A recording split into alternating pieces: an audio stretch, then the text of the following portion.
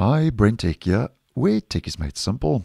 So, Windows 11, as many of you will know, although Microsoft has given the OS a more modern look and feel, we still get a bunch of legacy components that um, still look exactly like they did, give or take, when Windows 95 was still available back in the day. And as an example, the device manager would be such a component. Nothing really has changed when it comes to the user interface of the device manager compared to Windows 95 and which is still available now in Windows 11 compared to more modern components like the start menu, the notification center, and so on. Now, in regards to legacy components um, of Windows 11 that are still available, late last week, as I posted, Microsoft rolled out the latest Canary channel build in the Insider Program build 25921.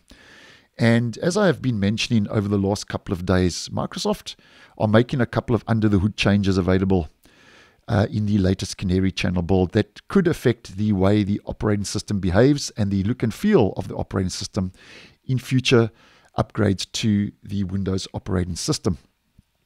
Now, this latest so called under the hood change has been once again spotted by the Windows enthusiast Xeno over on X who has spotted some changes regarding the shell of the computer, who has mentioned over on X that Explorer.exe has been cleaned a little bit.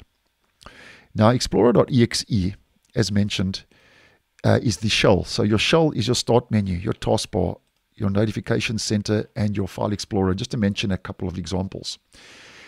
And Xeno has said that removing what they believe is part of the old taskbar. Now, this is important uh, because, as many of you will know, and as I've mentioned, um, the code for the legacy taskbar is still in Windows 11. So the legacy taskbar, as an example, um, there are bits of that that can still be enabled in Windows 11 like they look in Windows 10.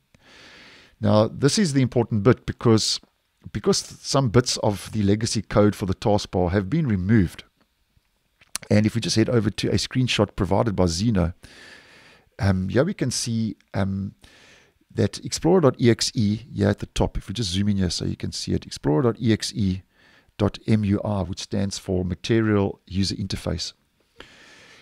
Um, when it comes to strings that are prevalent of build 25921, um, there are several parts of the Windows 10 taskbar that have been removed. So if we just go down here and we scroll down a little bit regarding this um, this screenshot, here we can see system promoted notification area, volume, network, power, microphone, action center. So you get the idea. So there are a couple of strings and there is a bit of the Windows 10 taskbar that's been removed. That's why Xeno says over on Twitter, um, Explorer.exe has been cleaned a little bit.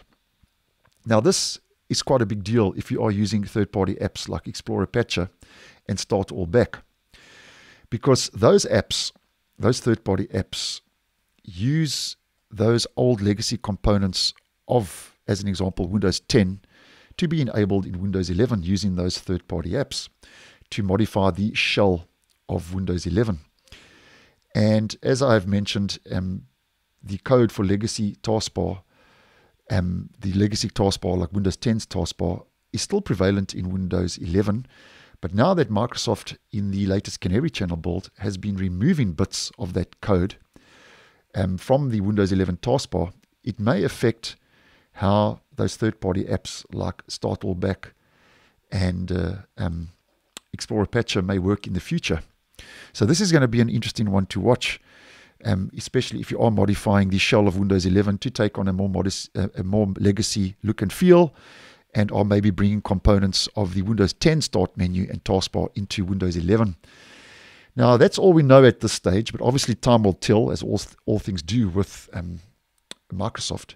So I just thought I'd throw it out there, and that was an interesting post by Xeno over on X and obviously, um, like all things, like we do talk about on this channel, if this does start becoming a reality, where it does um, Windows 11 and the removal of those uh, bits of the taskbar uh, of Windows 10 that were uh, previously available in Windows 11, if that does start becoming a reality, as um, the screenshot does show us, then obviously I will post and let you guys know because obviously that's going to affect the way those third party apps work um, at the end of the day in Windows 11 to modify the shell of the existing OS. But I'll keep you posted and just wanted to throw it out there to keep you guys in the loop. So thanks for watching, and I will see you in the next one.